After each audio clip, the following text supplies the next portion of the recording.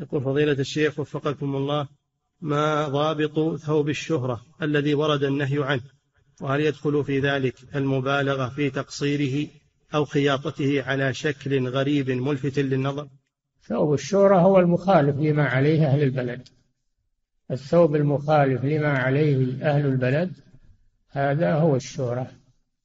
إلا إذا كان أهل البلد ليسوا على السنة في اللباس فتخالفهم طبق السنة. أما إذا كانوا على سنة فلا تخالفهم. هذا هو الشهرة. نعم. يقول فضيلة الشيخ وفقكم الله هل يجوز أن أقول يقول بعض الناس أن السنة أن يكون إلى نصف الساق.